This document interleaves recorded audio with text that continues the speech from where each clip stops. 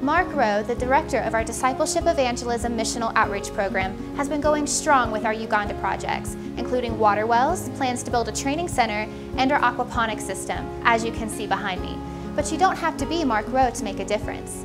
An eight-year-old boy named Marshall, living in Vinita, Oklahoma, decided that he wanted to raise money for people in Africa after God spoke to him in a dream. And God said in Africa that I had a vision that they were very, very poor and the next morning I was like, Mom, I just have to help them. Found ways to raise money. Marshall would get out and help his dad chop trees down or yard work and would earn money for it. And we would bake pies and breads and, and we didn't sell them, but we would ask for donations and, and brought money in that way. I have $4,016 raised for the mission.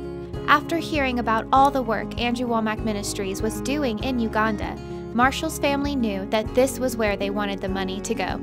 This young man had a dream, a vision from God to help the people of Africa, which is the work that I'm involved in for the ministry.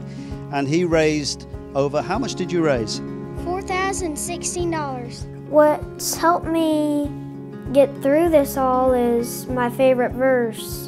Uh, I can do all things through Christ who strengthens me. Join Marshall and countless others who have taken that step of faith. By partnering with Andrew Wommack Ministries, you are helping to make a difference in people's lives across the world.